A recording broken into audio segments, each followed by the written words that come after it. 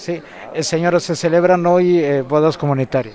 Sí, el día de hoy estamos de gala porque estamos teniendo este bonito evento de bodas comunitarias, que es el primero que nos toca en esta nueva administración y donde vamos a tener la unión de 66 parejas. Ok, 66 parejas que con esto vienen a formalizar y a hacer legal ante las autoridades su unión precisamente. Sí, así es. Con, este, con esta unión pues se les da certeza jurídica para ellos, para su familia y para la sociedad. Esto le da también más seguridad a las familias de cada uno de ellos. Sí, así es. Este es el motivo de, principal de esta unión, que tengan certeza jurídica la familia.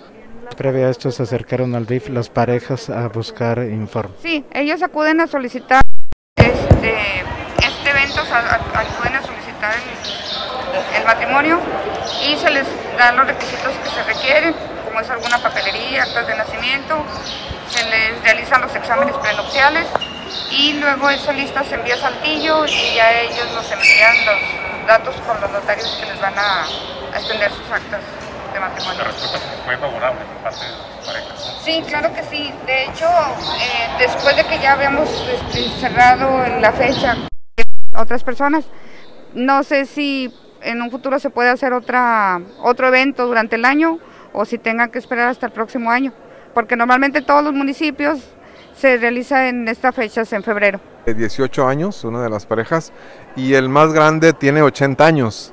Entonces, el mensaje es que esta administración está abierta para apoyar este tipo de actos que de alguna manera eh, apoyan también a que ellos estén unidos y ya con un documento pues ellos podrán realizar algunos actos también de fundamentación jurídica en temas de bienes, en tema de propiedades, en tema de algunas herencias incluso, pero bueno, se le da formalidad a lo que socialmente ellos ya tienen, que es una unión, y jurídicamente hoy se dará ese día.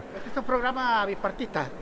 Es un programa donde participa el Estado y donde participa eh, el municipio fundamentalmente a través del DIF estatal de la señora Sara Irma Pérez y todo su equipo y todo el equipo de la doctora eh, Leticia Carrillo aquí en Monclova.